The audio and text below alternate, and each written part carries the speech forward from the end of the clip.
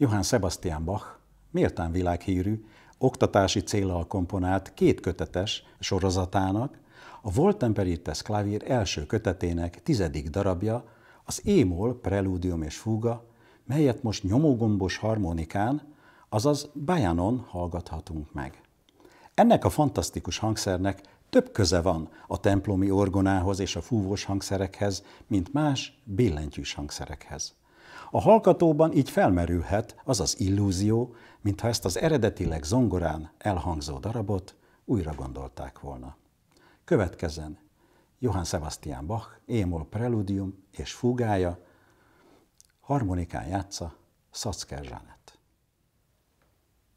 thank you